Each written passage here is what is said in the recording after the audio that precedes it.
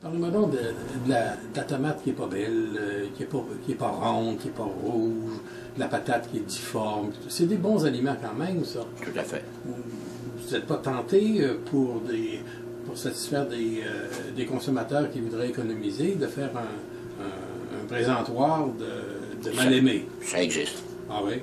Ça existe. Ça existe. Dans certains produits. Les produits qu'on achète du grossiste, ils nous arrivent, sont déjà euh, sélectionnés, catégorisés, numérotés, si vous voulez. Première catégorie, euh, première classe, ou de la patate, de, de la tomate numéro un. euh. Alors, ce qui nous arrive du grossiste, on n'est pas capable. Ce qui nous arrive des producteurs locaux, exemple dans la tomate, on achète beaucoup de tomates de monsieur, de monsieur Dubé à Cap-Saint-Ignace, là. Bon, ben, on a deux catégories de tomates avec monsieur Dubé. On a sa première catégorie, sa belle tomate, qui est euh, à un prix, et sa tomate moins belle. Aussi bonne, mais moins belle, parce qu'ils viennent, ils viennent au monde sur le même pied, là.